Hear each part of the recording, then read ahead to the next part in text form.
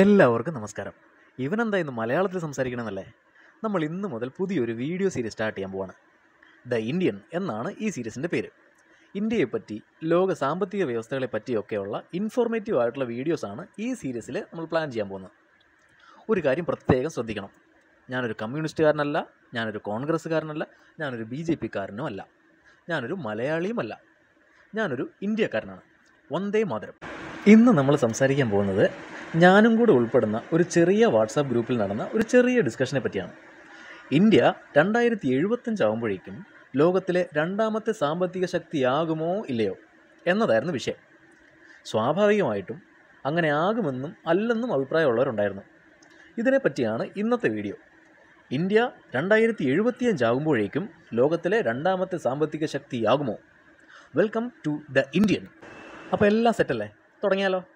ഒരു കാര്യം കൂടെ പറയാനുണ്ട്. ഈ വീഡിയോ കാണുമ്പോൾ ഞാൻ വലിയ പണ്ഡിതനാണെന്നൊന്നും ആരും വിചാരിച്ച് കളയരുത്. ഞാൻ കാണുന്ന യൂട്യൂബ് ചാനലിൽ നിന്നും ഗൂഗിളിൽ നിന്നും ഒക്കെ കളക്ട് ചെയ്ത വിവരങ്ങളാണ് ഞാൻ നിങ്ങളോട് പറയുന്നത്. നമ്മുടെ ജഗതിച്ചേട്ടൻ പറയുന്നത് പോലെ. ശബ്ദതയിൽ നിന്നും പെറുക്കിയെടുത്ത ഈ ഗാനത്തിന് പണ്ടെങ്ങോ കേട്ടു മറന്ന ഏതെങ്കിലും ഒരു പാട്ടുമായി സാമ്യം തോന്നിയാൽ അത് കേവലം യാദൃശ്ചികം മാത്രമാണ്. ഞാൻ തുടങ്ങട്ടെ. അപ്പോൾ നമുക്ക് കാര്യത്തിലേക്ക് വരാം. ലോക സാമ്പത്തിക വ്യവസ്ഥയെ പറ്റിയാണല്ലോ നമ്മൾ ഡിസ്കസ് ചെയ്യുന്നത്. അപ്പോൾ എന്തിന്റെ അടിസ്ഥാനത്തിലാണ് ഈ വ്യവസ്ഥിതിയിൽ ഫസ്റ്റ് പ്രൈസും സെക്കൻഡ് പ്രൈസും ഒക്കെ കൊടുക്കുന്നതെന്നും കൂടെ നമ്മൾ അറിഞ്ഞിരിക്കണ്ടേ? രണ്ടായിരത്തി ഇരുപത്തി മൂന്നിൽ ഇന്ത്യയുടെ ജി ഡി പി ഏഴ് ശതമാനം വളരുമെന്ന റിപ്പോർട്ടുകൾ പറയുന്നു. എന്നൊക്കെ കേൾക്കുമ്പോൾ എന്തുട്ട് തേങ്ങയാണാവോ എന്ന് നമ്മൾ ചിന്തിക്കാറില്ലേ? ആ ആ ജി ഡി പിയുടെ അടിസ്ഥാനത്തിലാണ് ലോക സാമ്പത്തിക വ്യവസ്ഥയിൽ ആരാണ് ഫസ്റ്റ് ആരാണ് സെക്കൻഡ് എന്നൊക്കെ തീരുമാനിക്കുന്നത്. ഇനി നമുക്ക് ഈ ജി ഡി പി എന്താണെന്ന് നോക്കാം. ജി ഡി പിയുടെ ഒരു ഡെഫിനിഷൻ നമുക്ക് ആദ്യം നോക്കാം. G D P is equal to consumption plus investments plus government spendings plus net exports നമ്മൾ കടയിൽ നിന്ന് സാധനങ്ങൾ വാങ്ങുന്നതോ വീട്ടിലേക്ക് ഒരു സ്കൂട്ടി വാങ്ങുന്നതിനെയോ ഒക്കെ നമുക്ക് കൺസംഷൻ അഥവാ ഉപഭോഗം എന്ന് പറയാം. ഇൻവെസ്റ്റ്മെന്റ്സ് എന്ന് ഉദ്ദേശിക്കുന്നത് ഒരു രാജ്യത്തെ ഗവൺമെന്റ് അതിന്റെ ഇൻഫ്രാസ്ട്രക്ചറിലും ഹെൽത്ത് കെയറിലും എഡ്യൂക്കേഷനിലും ഒക്കെ ഇൻവെസ്റ്റ് ചെയ്യുന്ന പൈസ. പിന്നെ പിന്നെ നെറ്റ് എക്സ്പോർട്ട്സ് എന്ന് പറയുന്നത് നമ്മളുടെ കയറ്റുമതിയിൽ നിന്നും ഇറക്കുമതി കുറച്ചാൽ കിട്ടുന്നതിനെയാണ് നെറ്റ് എക്സ്പോർട്ട്സ് എന്ന് പറയുന്നത്.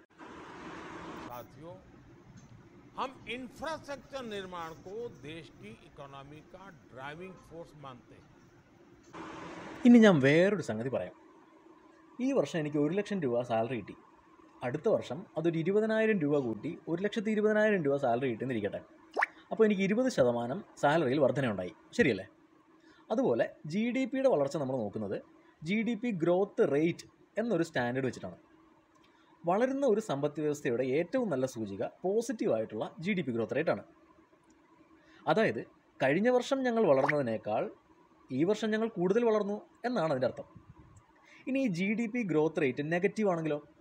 ഉദാഹരണത്തിന് ഈ വർഷം രാജ്യത്തിന്റെ ജി ഡി പി അഞ്ച് ശതമാനം വളർന്നു. അടുത്ത വർഷം നാല് ശതമാനം വളർന്നുള്ളൂ. നാല് ശതമാനം വളർന്നുള്ളൂ. അപ്പോൾ G D P growth rate നെഗറ്റീവാണ് ഓക്കെ സിമ്പിൾ ലോജിക്കല്ലേ അടുപ്പിച്ച് രണ്ട് ക്വാർട്ടറുകളിൽ ഈ G D P growth rate negative ആണെങ്കിൽ നമ്മളതിനെ റിസിഷൻ അഥവാ സാമ്പത്തിക മാന്ദ്യത്തിന്റെ ഒരു തുടക്കമായിട്ടാണ് കാണുന്നത്. പിടികിട്ടിയോ? ഇപ്പോൾ നിങ്ങളുടെ മനസ്സിലൊരു ചോദ്യം ഉണ്ടാവും. ജി ഡി പി കൂടിയാൽ എല്ലാമായോ ആ രാജ്യത്തെ ജനങ്ങളെല്ലാം ഹാപ്പിയാണോ അല്ല എന്നാണ് അതിന്റെ ഉത്തരം. G D P per capita എന്നൊരു സംഗതിയുടെ പ്രസക്തി ഇവിടെയാണ്. G D P per capita എന്നാൽ G D P divided by ജനസംഖ്യ. അതായത് ഒരാളുടെ G D P G D പിയിൽ ഇന്ത്യ അഞ്ചാം സ്ഥാനത്താണെന്നുള്ള കാര്യം നമുക്ക് എല്ലാവർക്കും അറിയാം. പക്ഷേ ജി ഡി പി പെർ ക്യാപിറ്റയിൽ ഇന്ത്യ നൂറ്റി മുപ്പത്തി ഒൻപതാം സ്ഥാനത്താണെന്നുള്ളത് എത്ര പേർക്ക് അറിയാം? പിടികിട്ടിയോ? അത് അതിന്റെ അർത്ഥം നമ്മുടെ രാജ്യം വികസിക്കുമ്പോഴും ജനങ്ങൾ അത്രയും പുരോഗതി പ്രാപിക്കുന്നില്ല എന്നുള്ളത് തന്നെയാണ്. ജി ഡി പി കൂടുന്നു എന്നതുകൊണ്ട് ആ രാജ്യത്ത് പണക്കാർ മാത്രമേ ഉള്ളൂ എന്നർത്ഥമില്ല. അതെങ്ങനെ ശരിയാവും? ജി ഡി പി കൂടുന്നു രാജ്യം വികസിക്കുന്നു. അപ്പോൾ സ്വാഭാവികമായിട്ടും ജനങ്ങൾ വികസിക്കണ്ടേ? ഇവിടെയാണ് ജി ഡി പി എന്ന ആശയത്തിന്റെ പോരായ്മയെപ്പറ്റി നമ്മൾ പറയേണ്ടത്. ജനങ്ങളുടെ സംതൃപ്തിയോ അവരുടെ ക്ഷേമമോ ജി ഡി പി എന്ന ആശയത്തിൽ മെഷർ ചെയ്യപ്പെടുന്നില്ല എന്നതാണ് വാസ്തവം. അതുകൊണ്ടാണ് ഇന്ത്യ വികസിക്കുന്നു ജി ഡി പി കൂടുന്നു എന്ന് പറയുമ്പോഴും നമുക്ക് ചുറ്റും പട്ടിണി കിടക്കുന്നവരും വീടില്ലാത്തവരും തൊഴിൽ രഹിതരും ഒക്കെ ഇപ്പോഴും ഉള്ളത്. പിടികിട്ടിയ. അപ്പോൾ ഒരു രാജ്യത്തിന്റെ ജി ഡി പി കൂടുതലായാലും സൊസൈറ്റിയിൽ പണത്തിന്റെ ഡിസ്ട്രിബ്യൂഷൻ അൺഈവൻ ആയിരിക്കും. അതായത് പണക്കാരൻ വീണ്ടും പണക്കാരനാവുകയും ദരിദ്രൻ കൂടുതൽ ദരിദ്രനാവുകയും ചെയ്യുന്ന ഒരു സ്ഥിതിവിശേഷം ഉണ്ടായേക്കാം. നമുക്ക് ജി ഡി പിയെ പറ്റി കൂടുതൽ സംസാരിക്കാം. അതിനു മുന്നേ ലോക സമ്പദ് വ്യവസ്ഥയിൽ ഇന്ത്യയുടെ സ്ഥാനം നമുക്കൊന്ന് നോക്കാം. നിലവിൽ മൂന്ന് പോയിന്റ് ഏഴ് അഞ്ച് ട്രില്യൺ യു എസ് ഡോളറുമായി അഞ്ചാം സ്ഥാനത്താണ് നമ്മുടെ ഇന്ത്യ ഉള്ളത്. രണ്ടായിരത്തി പതിനാലിൽ വെറും രണ്ട് ട്രില്യൺ ആയിരുന്നു നമ്മുടെ എക്കോണമി ഈ ഒൻപത് വർഷം കൊണ്ട് നമ്മൾ പിന്നിലാക്കിയത് ആരൊക്കെയാണെന്ന് അറിയാമോ? കാനഡയെയും ഇറ്റലിയെയും ഫ്രാൻസിനെയും. എന്തിനു പറയുന്നു? സാക്ഷാൽ യു കെനെ വരെ നമ്മൾ പിന്നിലാക്കി. വിശ്വസിക്കാൻ ബുദ്ധിമുട്ടുണ്ടല്ലേ? യു കെനേക്കാളും പണമുള്ള രാജ്യമാണ് ഇന്ന് ഇന്ത്യ. നമ്മളെ കൊള്ളയടിച്ച് എല്ലാം കൊണ്ടുപോയ ബ്രിട്ടീഷുകാരെക്കാളും സമ്പന്നരായിരിക്കുന്നു നമ്മുടെ ഇന്ത്യ ഇപ്പോൾ. Proud to be an Indian. പക്ഷേ ഇതിന്റെ അർത്ഥം ഇന്ത്യയിൽ യു കെയേക്കാൾ കൂടുതൽ സൗകര്യങ്ങളുണ്ടെന്നാണോ? പിന്നെ എന്തുകൊണ്ടാണ് നമ്മുടെ യുവാക്കൾ യൂറോപ്പിലേക്കും യു കെയിലേക്കുമൊക്കെ ജോലി തേടി കുടിയേറുന്നത്? അവിടെയാണ് നമ്മൾ നേരത്തെ പറഞ്ഞ ജി ഡി പിയുടെ പോരായ്മ ശരിക്കും നമ്മൾ മനസ്സിലാക്കുന്നത്. ഇനി ഇന്ത്യയേക്കാൾ കൂടുതൽ സമ്പത്തുള്ള രാജ്യങ്ങൾ ഏതൊക്കെയാണെന്ന് നമുക്ക് നോക്കാം. ഒന്നാം സ്ഥാനം യു എസിനാണ്. ഇരുപത്തിയാറ് ട്രില്യൺ യു എസ് ഡോളറാണ് അവരുടെ ആസ്തി. പത്തൊമ്പത് ട്രില്യണുമായി ചൈന രണ്ടാം സ്ഥാനത്ത് നിൽക്കുന്നു.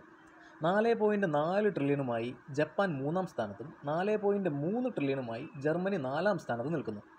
അതിനുശേഷം മൂന്ന് പോയിന്റ് ഏഴ് അഞ്ച് ട്രില്യനുമായി ഇന്ത്യ അഞ്ചാം സ്ഥാനത്ത് നിൽക്കുന്നു. ജർമ്മനിയിൽ ഇപ്പോൾ ഒരു സാമ്പത്തിക മാന്ദ്യത്തിനുള്ള സാധ്യത ഉള്ളതുകൊണ്ട് രണ്ടായിരത്തി ഇരുപത്തിനാലിൽ നമ്മൾ ജർമ്മനിയെ മറികടന്ന് നാലാം സ്ഥാനത്തെത്തുമെന്നാണ് നിലവിലുള്ള വിലയിരുത്തൽ. പിന്നെയുള്ളത് ജപ്പാൻ ചൈന യു എസ്. രണ്ടായിരത്തി മുപ്പതോടുകൂടി നമ്മുടെ എക്കോണമി അഞ്ച് ട്രില്യൺ ആകുമെന്നാണ് നമ്മുടെ ഇന്ത്യൻ ഗവൺമെന്റ് കണക്കാക്കുന്നത്. അങ്ങനെ സംഭവിച്ചാൽ പിന്നെ നമ്മൾ ജപ്പാനെ മറികടന്ന് മൂന്നാം സ്ഥാനത്തെത്തും എന്ന് കരുതുക. ഈ കാലഘട്ടത്തിനുള്ളിൽ ജപ്പാന്റെ വളർച്ചയും നമ്മൾ കണക്കിലെടുക്കേണ്ടതുണ്ട്. അതും സംഭവിച്ചു എന്ന് കരുതുക. നമ്മൾ ജപ്പാനെയും മറികടന്ന് മൂന്നാം സ്ഥാനത്തേക്ക് കടക്കുന്നു.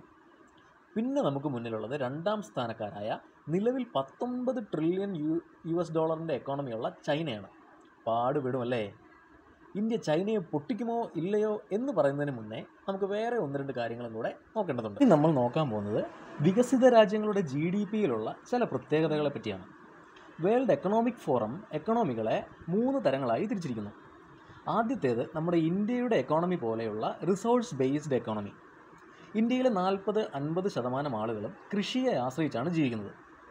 എണ്ണയെ ആശ്രയിച്ച് ജീവിക്കുന്ന ഗൾഫ് രാജ്യങ്ങളും ഈ റിസോഴ്സ് ബേസ്ഡ് എക്കോണമിയുടെ ഉദാഹരണങ്ങളാണ്.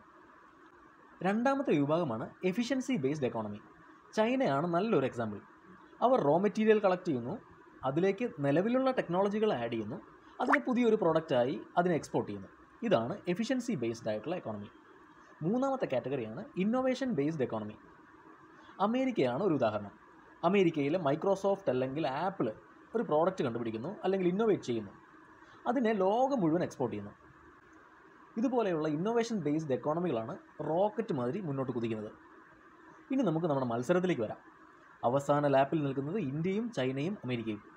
ഇന്ത്യ ഒരു റിസോഴ്സ് ബേസ്ഡ് എക്കോണമി ചൈന ഒരു എഫിഷ്യൻസി ബേസ്ഡ് എക്കോണമി അമേരിക്ക ഒരു ഇന്നോവേഷൻ ബേസ്ഡ് എക്കോണമി ചോദ്യം ഒരു റിസോഴ്സ് ബേസ്ഡ് എക്കോണമിയായ ഇന്ത്യയ്ക്ക് എങ്ങനെ ഒരു എഫിഷ്യൻസി ബേസ്ഡ് എക്കോണമിയായ ചൈനയെ മറികടക്കാൻ സാധിക്കും? എളുപ്പമല്ല ഉണ്ണിയെ എന്ന് പറയാൻ വരട്ടെ. നമുക്ക് ഇന്ത്യയുടെ നിലവിലെ ജി ഡി പി ഒന്ന് പരിശോധിക്കാം. കുറച്ച് വർഷങ്ങൾക്ക് മുൻപ് വരെ നമ്മുടെ ജി ഡി പിയുടെ അൻപത് ശതമാനം സംഭാവന ചെയ്തിരുന്നത് കൃഷിയാണ്. ആയിരത്തി തൊള്ളായിരത്തി തൊണ്ണൂറ്റി ഒന്നിലെ ലിബറലൈസേഷന് ശേഷം ഇന്ത്യയിലേക്ക് ഐ ടി കമ്പനികളുടെ ഒരു ഒഴുക്ക് ആരംഭിച്ചു. ബി പി ഒയും കെ പി ഒയും ഐ ടി സപ്പോർട്ടും ഒക്കെയായി പതിയെ പതിയെ സർവീസ് സെക്ടർ കൃഷിയുടെ അൻപത് ശതമാനം സ്വന്തമാക്കി. കൃഷി ജി ഡി പിയുടെ പതിനാറ് ശതമാനമായി കുറഞ്ഞു. സർവീസ് സെക്ടർ എന്ന് പറഞ്ഞാൽ ഐ ടി മാത്രമല്ല കേട്ടോ. ഫിനാൻസ് ഉണ്ട് ടെക്നോളജി ഉണ്ട് റിസർച്ച് ആൻഡ് ഡെവലപ്മെന്റ് ഉണ്ട്. മൊത്തത്തിൽ പറഞ്ഞാൽ ഒരു ഇന്നോവേഷൻ. സിംഗപ്പൂരിന്റെ ജി ഡി പിയിലെ എഴുപത് ശതമാനവും കോൺട്രിബ്യൂട്ട് ചെയ്യുന്നത് സർവീസ് സെക്ടറാണ്. യു എസ് ജി ഡി പിയുടെ എഴുപത്തി അഞ്ച് ശതമാനം കോൺട്രിബ്യൂട്ട് ചെയ്യുന്നത് സർവീസ് സെക്ടറാണ്. അപ്പോൾ ചൈനയെ മറികടക്കാൻ നമുക്ക് മുന്നിലുള്ള ഒരേ ഒരു മാർഗം സർവീസ് സെക്ടറിൽ മുന്നേറുക എന്നുള്ളതാണ്.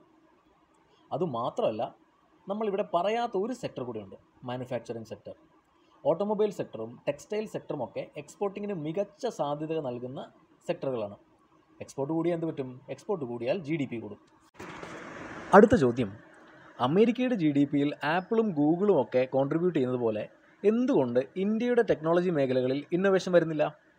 ഇതിനുള്ള ഉത്തരം ഇരിക്കുന്നത് നമ്മുടെ വിദ്യാലയങ്ങളിലും കോളേജുകളിലും വീടുകളിലും ഒക്കെയാണ്. ബൾബ് മാറ്റാൻ അറിയാത്ത ഇലക്ട്രോണിക്സ് എഞ്ചിനീയർമാരെ അല്ല നമുക്ക് വേണ്ടത്. പറഞ്ഞത് അനുഭവം കൊണ്ടാണ് കേട്ടോ. നല്ല എഞ്ചിനീയർമാർ സദയം ക്ഷമിക്കുക. ലോക നിലവാരമുള്ള ഇന്നോവേഷൻ നമുക്ക് വേണമെങ്കിൽ ലോക നിലവാരമുള്ള വിദ്യാഭ്യാസ സമ്പ്രദായം നമുക്ക് ആവശ്യമുണ്ട്. തൊഴിലധിഷ്ഠിതമായ വിദ്യാഭ്യാസം. പിന്നെ ആവശ്യമുള്ളത് നീ എഞ്ചിനീയർ ആവണം ഡോക്ടർ ആവണം എന്ന് നിർബന്ധിക്കാത്ത മാതാപിതാക്കളെയാണ്. കുഞ്ഞുങ്ങളിലെ കഴിവുകൾ കണ്ടെത്തി അതിന് നിറങ്ങളും ചിറകുകളും നൽകുന്ന അധ്യാപകരെയും ഗുരുക്കന്മാരെയുമാണ്. പഠിച്ചിറങ്ങുന്ന കുട്ടികൾക്ക് തൊഴിൽ മാത്രമല്ല സ്റ്റാർട്ടപ്പുകളും തുടങ്ങാൻ പണമിറക്കുന്ന ഗവൺമെന്റുകളെയാണ് ഇത് രണ്ടായിരത്തി ഇരുപത്തി മൂന്ന് എന്റെ പ്രായം മുപ്പത്തിമൂന്ന്. എന്റെ കുട്ടിയുടെ പ്രായം മൂന്ന്. രണ്ടായിരത്തി എഴുപത്തിയഞ്ചിലേക്ക് ഇനി അൻപത് വർഷങ്ങൾ. നമ്മളാണ് ആ മാതാപിതാക്കൾ. നമ്മുടെ മക്കളാണ് ആ വിപ്ലവകാരികൾ. രണ്ടായിരത്തി എഴുപത്തിയഞ്ച് ആകുമ്പോഴേക്കും ചൈനയെ നമുക്ക് മറികടക്കാം. രണ്ടാം സ്ഥാനം നമുക്ക് സ്വന്തമാക്കാം. പിന്നീട് അങ്ങോട്ട് അമേരിക്കയിലേക്ക് അധികം ദൂരമില്ല. മികച്ച തലമുറകളെ വാർത്തെടുക്കുന്ന നല്ല മാതാപിതാക്കളാവാൻ നമുക്ക് കഴിയട്ടെ എന്ന് ആശംസിച്ചുകൊണ്ട് നിർത്തുന്നു. ജയ് ഹിന്ദ്.